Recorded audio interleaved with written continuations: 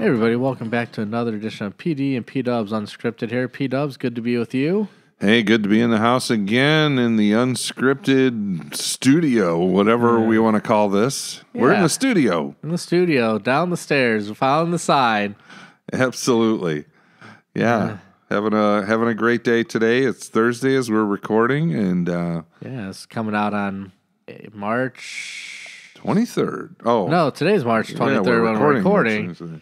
But it is Wednesday, March 29th as you're listening to this. Yeah, and you know what that is? The day before baseball starts. Oh, day before opening day where every Man. team has hope. Absolutely. Yeah, all hoping for that World Series title.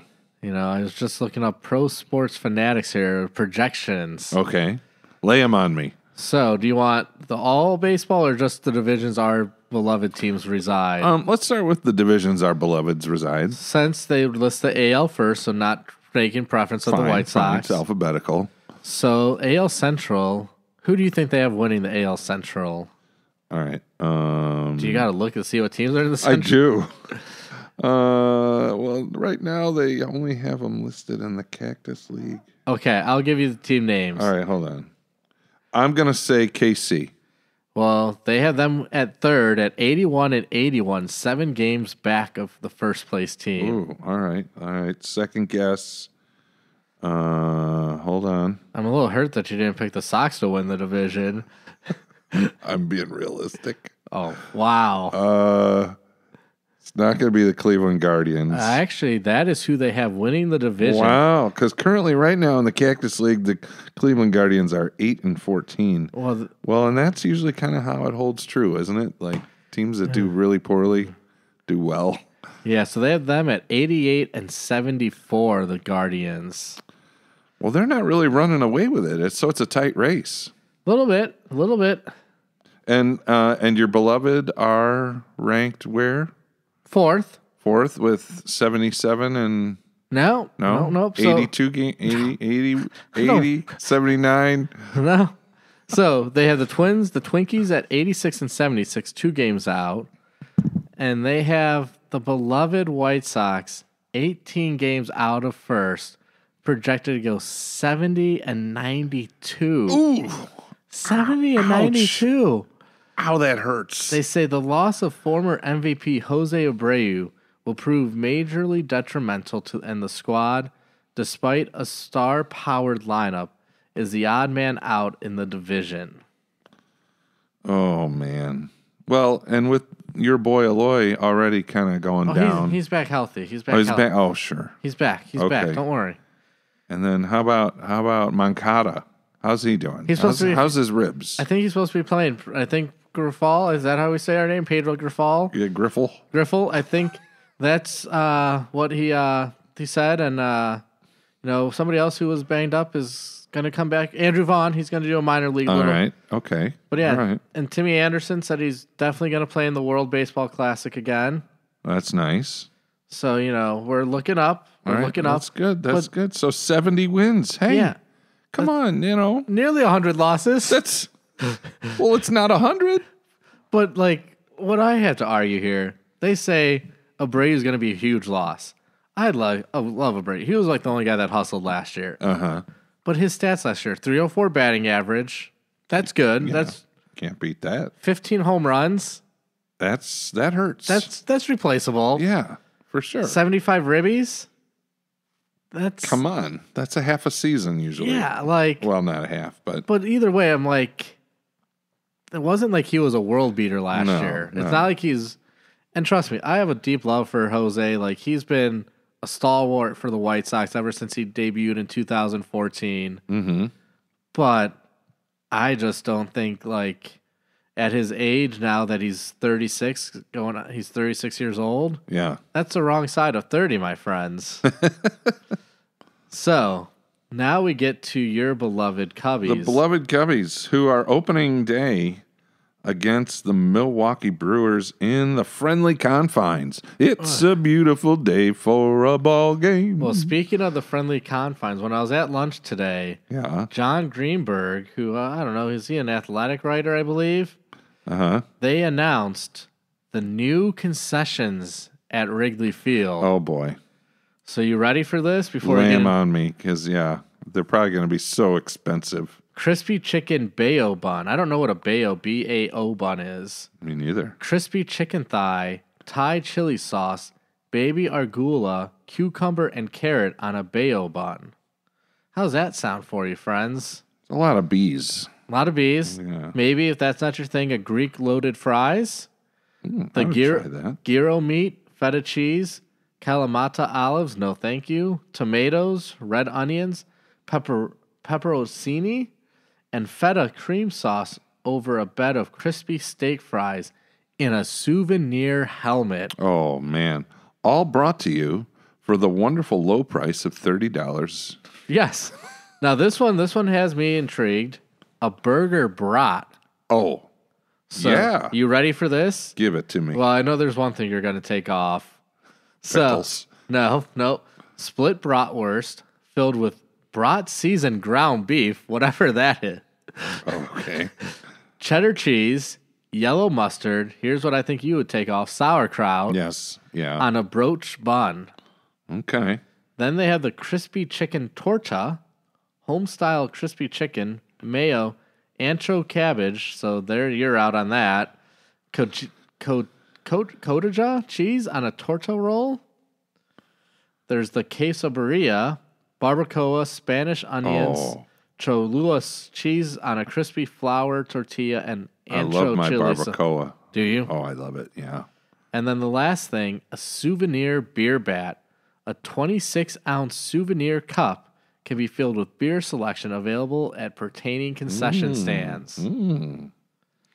Well, they're up in their game because you know they're they're. I would admit that um, the White Sox have better food options in in the house, uh, whatever you call that place. Well, this year the cell. Sox, you know, we this year the Sox. I saw this on their Facebook, and they actually have pictures. Mm-hmm. They have a mangonada, which is some sort of drink. Then they have the champagne of dogs. Get this: a half pound Vienna beef foot long frank, served on a brioche bun and topped with champagne Vidalia relish and habanero mustard. Wow. Then they also have a steak chimichurri sandwich. Seared ribeye steak with homemade chimichurri, chimichurri sauce drizzled over top a fresh hoagie roll. I would try that. Then they have the authentic turkey, ham, cheddar, Swiss, lettuce, tomatoes, red onions, Louis dressing on a wheat baguette. This is why we need. This is why spring is so great because it brings all this awesome food at the ballpark. And the, la- the last thing is hog wild smoked rib tips. Oh, man. So those are the new things at our respective stadiums here at you know 1060 West Addison, right, for the beloved Cubs at Wrigley. Mm-hmm. Yep, yep. And 35th and Shields for the beloved Sox at Comiskey. Mm-hmm. So back to the Cubs division, what with their record? So who do you think they got winning the NL Central? Uh, I think the Cardinals. They do have them 92 and 70. Yep. 92 and 70. That's that's pretty good. Uh, who's in second? Um, I'm gonna say the Brewers. Yep, 86 and 76. Okay. Next up, Uh, um, let me think. I'm tossing it up between. I'm gonna say Cincinnati Reds. no, Ooh. they have the Reds at fourth. Okay. And obviously, you're probably not going to guess the Pirates to be in third. No. like So is it the Cubbies? the Cubbies are in third yeah, baby. at 75 and 87. 75 and So 87. five games better than the Sox. Still a losing under subpar 500. I mean, it's kind of it's kind of unfair when you got to you get to play the Reds and the Pirates all those times. That's kind of come on. Do the Pirates even count as a Major League Baseball team? oh, We, we got no Pirates fans that listen to this, right? I don't think so. No, doubt- nobody listening from, I don't Pittsburgh area. Pittsburgh area. But it says about the Cubs, the Cubs are one of the more improved teams in the MLB, with signings including Dansby Swanson, whoever that is, Yeah. Jameson Taillon, and Cody Bellinger. Mm-hmm. A rotation that lacks excitement, as well as a lower end bullpen, keeps this team grounded. However, and I have them picking up only one win from last year. Ooh, that's rough. With all those moves, only one extra win. Who's this person that rated all these? That was pr- Pro Sports Fanatics. Oh, okay. Whoever they are. Yeah, I was just trying to look up baseball projections real quick. Let's see, Fangraphs. That's a little more well known, I think. I don't know if. Let's see. They have the Cubs projected at 78 wins, but still in third place. Okay. So, you know, you can take that. Yeah, I mean, I'm excited to watch them because it's all kind of new, you know, and like there's a lot of promise. And as you said, like hope, hope springs eternal. And so our faith is based on actual hope of Jesus and, uh, you know, not some silly hoping of Baseball. baseball. Well, I like this Fangraphs much better for the White Sox. They got them picked to win 74 games. Hey, all right. Still third place, but 74, we're inching up there. oh, that's going to be a long baseball It season, is. isn't it? It is. Like, yeah. I just wonder how quickly it will happen before you or I begin to lose hope.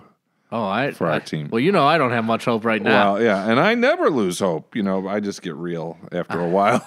I'm just realistic going into the season. yeah, Like I texted or talked to somebody, I was like, my only hope is I have a manager that doesn't fall asleep in the game, especially in the first inning.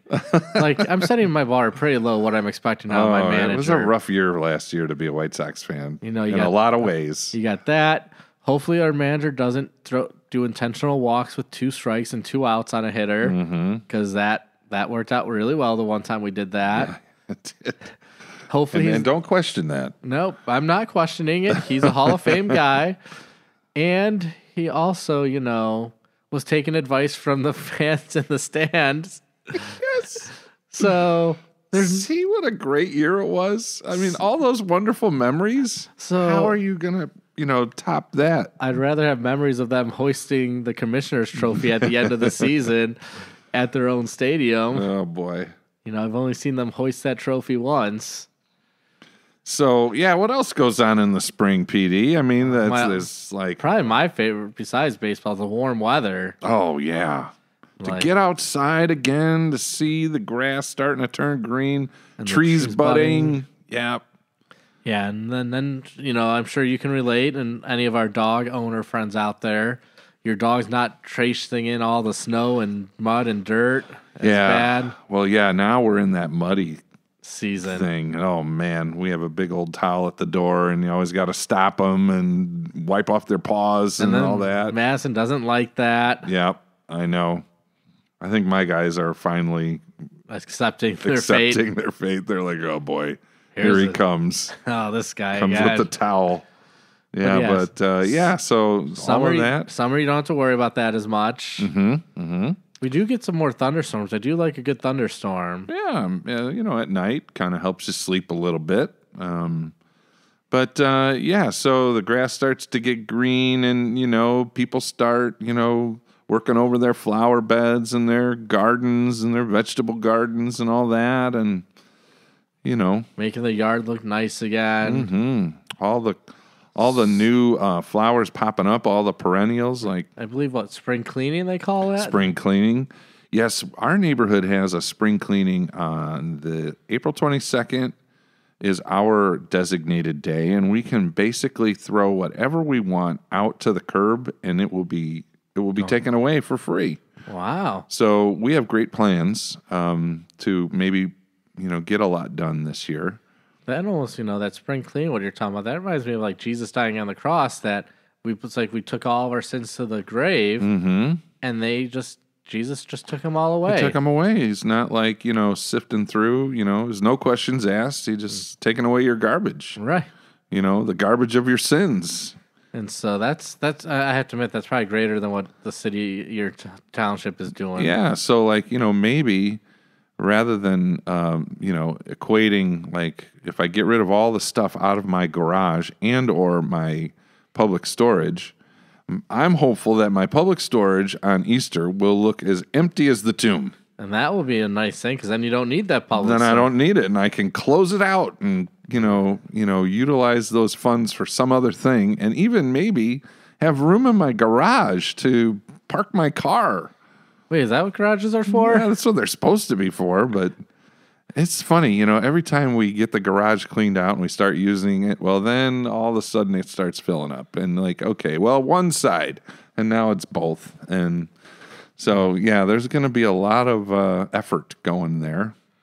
Doesn't that kind of feel like how it is with our sin? Like we can be going well, we get it all cleaned out, and then just one little thing of clutter comes, and then it just builds upon that. Yeah, yeah. And then it's like you get used to all the clutter and all the junk in your life. And, And you don't uh, want to get rid of it. and you don't want to get rid of it, or you just like walk by it and you just like, oh yeah, someday I'll take care of that. And maybe that's the way with our sinful actions too. Like you know, someday, someday I'll get, I'll, I'll get better. I'll change. Yeah, right. Oh, it sounded like we had like uh Monty Python. Monty Python, Yeah. but I was thinking of our puppet friends. oh yeah, Jim Dandy. Jim Dandy. Sound like yeah, I don't know if you know Jim Dandy. That was my Jim Dandy That's, impersonation. that sounded pretty good as a Jim yeah. Dandy. Well, thank you so much, chap. Maybe you should go like on the impersonation circuit of like Jim Dandy. I hear there's a high request for that. Yeah, I mean he, I mean, he's on tour. Oh, that's that's where he's at. He's on uh, tour. Yeah, he's he's across the pond, you know, Oh, back home. back visiting- home. Back home, visiting the, the Yes. main, the homeland. the homeland. And uh, but yeah, so uh, yeah, exactly. You know, sometimes spring we we clean out all of our junk, and uh, that's a good good connection to our sins. Right. And so we got the warming up, you know, spring cleaning, baseball. March Madness is kind of wrapping up. People love some tournaments. You know, thankfully I did not fill out a bracket, so I'm loving the upsets. Yeah, I don't know if you ever got your bracket I filled out. I didn't. So what I'm trying to fill one out, and like here I am. It's Thursday again. Uh, the Sweet 16 is going to start up, so I, I threw out a Sweet 16 bracket to my family. I'm like, hey, fill it out. Nobody's done it, not even me. And so we're we're pathetic. I just didn't fill one out, and it's wonderful. Yeah. But um, yeah, and so like the flowers, I was thinking of the flowers. Like so on Easter, uh, I don't know about everyone else's church, but here at Immanuel on Easter, our altar is just really adorned with many beautiful flowers of varying kind, many of which are the Easter lily. And it gives a beautiful smell. Oh my it's a nice aroma when you walk into the sanctuary at five in the morning. Five in the morning, and uh, that is what hits you first. is kind of wakes you up a little bit. It does, and it's glorious. It is just so marvelous. I mean, I know I'm not probably the most awake when I stroll in that day. no, no, but like you know, you can tell that the flowers are there because I mean, we have a long aisle to the altar, and man, that that aroma is filling up the space. Yes, it is, and it's just beautifies our sanct- our sanctuary. Mm-hmm. Especially we have the little cross kind of display with them. Exactly. Yeah, our, our wooden cross is like um, packed with some varying kinds of flowers, and that's really nice. And obviously, that's really the best moment of springtime is that Easter celebration where we remember that our sins have been washed away. Yeah, and we've been spending six weeks in Lent, you know, kind of in a time of, you know, repentance and uh, reflecting upon our sinfulness and, uh, you know, focusing on the work of Jesus at the cross. And so, you know, all of that just kind of culminates. And, uh, you know, our sins are forgiven on Good Friday through Christ on the cross, and we're victorious on Sunday with his resurrection. Where I get to shout some words that I can't say right now. I know. Yeah. Oh, hold it back, I'm man. holding it back. I know you've been really chomping at the bit. I've been chomping at the bit, but to you know, say that word. two and a half weeks that I think I can I say. it. know. I know. Two and a half weeks, but we do get Good Friday, which is probably one of my favorite services of the year. Mm-hmm. You know, with the getting darker in the service and then the strepitus at the end. The, the what? You you got a sore th- sore throat? No, no, strep no, strep no strep throat. strep throat. The strepitus is we you slam the Bible or or we have the contraption I believe Tim made. Yeah, it's a wooden uh, blocks. Wooden blocks that we just slam together. Yeah, that's noisy. It is. Ooh-wee. That'll wake you up. That and then for the whatever one of us is carrying that candle out at the end, that's always a danger. in the dark. Yeah. But I still remember one of my first Good Fridays here when we had you pretend to fall down carrying the cross to see if anybody would help you up. Yeah. Yep. And uh, one of our wonderful members uh, who's now with the Lord came and helped me and asked, "Are you okay, Pastor?" I just love that about him. Arthur was his name, and and then uh, somebody else, uh, Tim, came and helped me out, and uh, Tim S. And uh, so that was that was that was interesting for sure. But um, yeah, so like the flowers just really uh, seem to bring about. Um, you know, um, newness? piquing uh, piquing our senses and something new. Yeah, something fresh, alive. You know, Jesus is alive, so it's always pretty cool. Right, and you know, you think about how they come up and just spring up, just as like, Mm-hmm. you know, we get that new life through our baptism, and how we spring up from that. Yeah, you know, we get a lot of. Um, I w- in our front walkway we have tulips, and uh, you can see the blades of the tulip uh, flowers breaking through the ground right now. And uh, then we have something called jonquils. They're always early bloomers. They're like a yellow flower, um, but they don't they don't hang around too long in flowering stage. And I don't know a whole lot about flowers, but like those I know because I you know I walk by them every day. I'm like, oh, stuff's coming out of the ground. Yeah, I don't know much about flowers either, and I don't plant any. Nothing Yeah. really grows at the house. Isn't it crazy? Like the smallest little things like get you excited about like a change in season. You know? When you see kind of that first bud of the trees, Mm-hmm. or even like, and I think I don't know if we talked about here, or maybe it was gathering about like the birds, like seeing the ro- first robin or Yes. mourning dove of the season. Yeah, or the first Cardinals, you know, even even though I'm, you know, a Cub fan, I love Cardinals. St. Louis. No, Okay, North you love American- the St. North you love the St. American Louis Cardinal. Cardinals. Okay, that's what I hear here. but yeah, but the seeing those birds that kind of migrate south, coming back, so it must Mm. be a sign that the warmer weather is on its way, and that's a great news for somebody like me who's not a winter person. Yeah, the other day I saw something on social media, probably Facebook, and it was must have been it was some lake in Iowa maybe, and there were thousands upon thousands of Canadian geese flying up in the air in like this enormous murmuration, which it just looked like a cloud of geese. And there was some on the lake, and as this cloud of geese are flying over, others would just start flying up. They would get up off of the ice or the water or whatever, and they were just swirling around. And they said, I mean, this was had to have been close to, I don't know, a million birds. I mean, it was just enormous. And they're like, this is a sign that spring is here because they're getting ready to fly north. And uh, they said that they haven't had this kind of migration in years. So it says a lot about how the Canadian geese have come back, you know, mm. because they were much lesser in population. But yeah, things like that. I think I always got my eyes up to the sky, you know, around this time. Like, okay, what's nature doing? Like, mm. what are the birds doing? Because they know, you know, they're mm. they're making a big commitment on their migrations. So Right. So it's crazy all those different signs that God gives Mm-hmm. us to say, hey, weather's warming up. yeah, And how he ingrains that into those animals that they know just kind of instinctually, I would say, I think you're right. that it's time to go back home. Yep. You know, like the hummingbirds, um, you know, all sorts of other kind of uh, orioles, bluebirds. You know, those are early spring birds. Well, there's one thing that I'm hoping doesn't come back to Immanuel. That's the goose and the geese Oh, that we get yeah. up. You know it. They they nest at On the same roof. place every year. That's part of their deal. They love our roof. Yeah, I'm sure we'll see them. And then you got to watch out for that goose. Yeah, and then how about the one year we had ducks in the courtyard? Yeah. the little ones were waddling out the front door. Our principal let them out. And, That was and pretty every cool. once in a while you see the baby geese or baby ducks or anything we've had.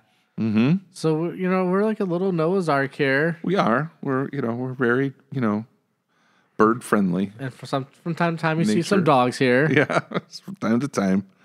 Yeah, so um, that's that's why you know spring is really exciting. You know, in a in a lot of ways. You know, because it. Um, the other day, uh, over the weekend, I saw someone flying a kite in the the park behind our house, Really? and I think that's a sign of spring. Yeah, and like, well, when I was driving to lunch today, I was going down Colfax towards Northwest Highway. Saw the kite in the mm. tree. Yeah, it looked like Elsa or somebody from Frozen. Yeah, yeah. But yeah, I saw it up on the tree across from O's Field. I was like, oh, poor person lost their kite. Yeah, I was thinking of an old Charlie Brown phrase. It's the kite eating tree. 'Cause Charlie Brown would always like try and fly his kites, and this one tree called the kite eating tree would just eat him up. Yeah, I don't know. I was never a good kite flyer.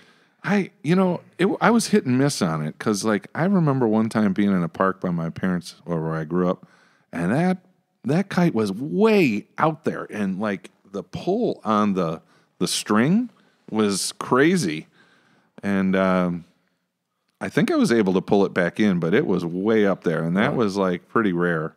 Most times, you know, they're diving down and crashing to the ground, or Now, when you were at Immanuel, we had this when I was in elementary school. We had kite day oh, cool, where everybody would bring their kites, and you'd have this opportunity in the afternoon to have like just everybody goes outside and flies their kites. I like that.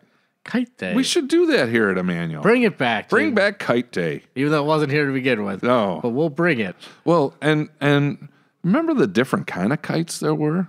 There was like the paper ones. I don't know if you had that, but there was like it was like a cross um, of the wood, the wood cross, and then you know it was like a diamond shaped kite, and then you had a tail, and then we called them bat kites because they were like the more plasticky ones, smaller, and man, those could go like all all over the place. Yeah, and I'm thinking of like Chinese lanterns that you can put up and up in the Oh air. yeah. Can write messages on them. Right. There there were those box kites um, that that had that kind of uh, look to it. But yeah, kites. I can't tell you the last time I tried to get a kite up in the sky. Yeah, we need to bring kites back because that was a thing back in the seventies, eighties, and maybe nineties. But yeah, you don't see kids with kites too often. No, what's up with that? What's the deal with no kites? Well, they get eaten by the tree They- eating the, the- kite eating tree. the kite eating tree. yeah, yeah, that's for sure. But yeah, and I think that's another sign too of spring is like you see more kids out playing if you have kids in your neighborhood. Mm-hmm.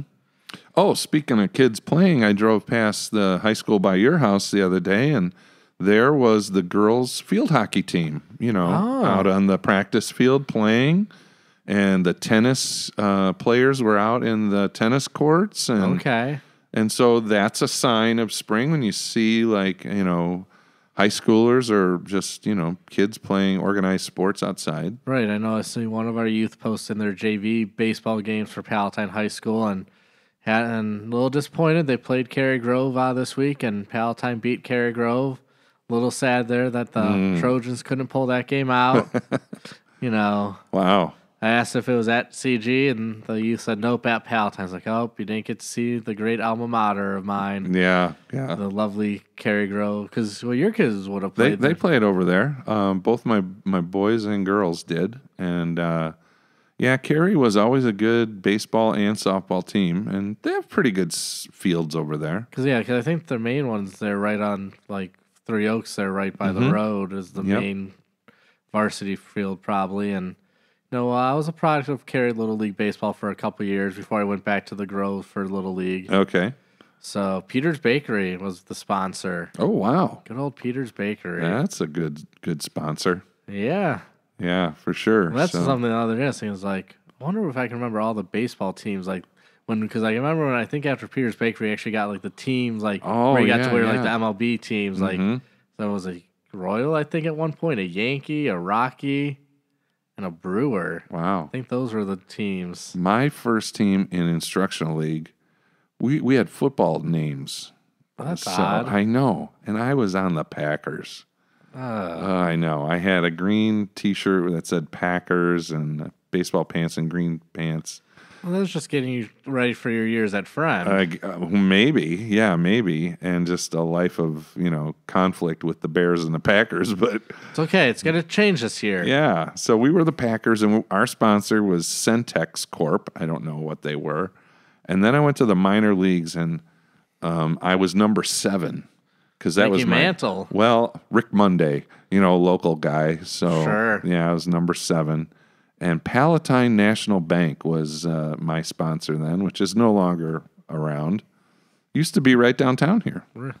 And then Pastor, then I went to the major leagues. And Not surprising with your skills. yeah, I was one year in the minors, and then I went early up to majors. Fast riser there. Three years on the same sponsored team, Roselle Lumber, and that that company might still be around. They were we were a red team, and then I was in Pony with Schaumburg Toyota. It was a yellow jersey. I hated that thing. Yeah. I'm not a yellow person. So then I was out of little league at that point. So But yeah, it's funny how we can remember, remember those. those silly things. Yeah. But Do you remember when you'd go like um, before you started the games, you had to go get your picture taken, team picture day? You know, Yeah. like you go to some school and everybody be dressed in their uniforms and you have to line up and you know, and then uh, oh, if your parents wanted the individual pictures, you had to hold a bat and you had like a stadium background behind you. I don't know if we had the stadium background. But I'm also thinking, I remember one year when I was with, uh, I think it was the Rockies, our manager, or coach, one of the dads, he made like baseball cards of all of us. Oh, that's cool. Where I mean, it was bigger, and it was just like our picture with a little like foam, but he had like the thing on the front, and then our stats for the season on the back of the card. Probably wasn't a very good hitter. Didn't didn't speak to my uh, defensive prowess. That's where my skill lied in baseball, was in defense. Yeah. Hey, oh, when you were in Cary Little League, did they have like a little concession stand at the fields? Yeah, because we played at the fields kind of behind the train tracks, like a little bit down from where the uh, train station is. Okay. Can't think of what they were called, but yeah, I do remember. Was that was that Lions Park? In Cary, no, because Lions Park I think is more down at like 14 when you make the turn, where you either go across the train tracks or I think. Yeah, yeah. And I just remember that one having like as a kid, they had like a you could see it from the road, but they had a water fountain that was like a giant lion. Oh yeah. That you would stick your head in Oh, to right, get the yes. water out in a You lion's had a head. bubbler. A bubbler. and a bubbler. But yeah, I remember over at Birchwood Park they had um, concessions, and you know after the game, kids would run over there, and that was a lot of fun. But yeah, but I feel like most people like kind of did the whole like, uh, you know, the mom the moms would bring you know the food in, Mm. the snacks. Oh, That's how yeah, we yeah. usually did it. Yeah, I don't think we had that. I don't remember that, like uh, where we were responsible to bring in a snack when I was going through. But um, that was a long time ago. Yeah, so I don't know. I got really nothing else here on our topic. Yeah, so you know, um, it's just enjoyable that spring brings something fresh, and certainly within our faith, as we said, we come through Lent, a time of reflection, repentance, penance, and uh, you know, we see what Christ did for us, and uh, that that causes great joy, and to where we can say uh, a word that is of great praise. Yeah, so we'll be saying that in two and a half weeks. Mm-hmm. Hope everybody has a great preparation for Pat Holy Week, beginning with Palm Sunday this Sunday, and hope to see you around at Immanuel with Palm Sunday, confirmation, then going into Maundy, Thursday, Good Friday, Easter Vigil, and Easter celebrations. You won't want to miss it. Come and join us.